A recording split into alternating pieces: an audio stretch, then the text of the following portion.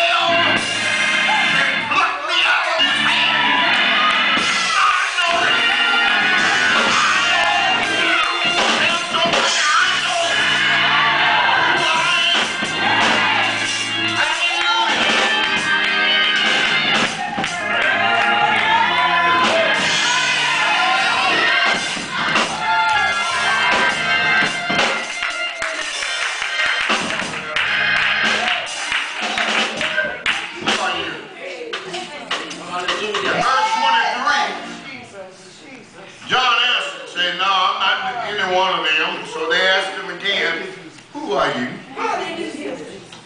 And John said, I'm a voice.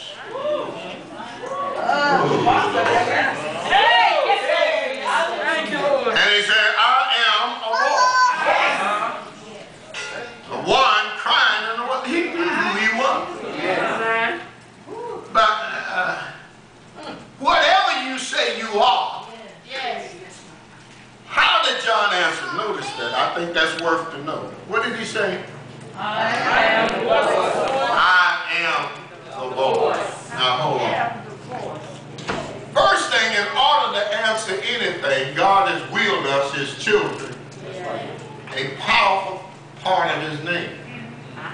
I am. I am who I am because he is who he is. He has given me the ability to be who I am.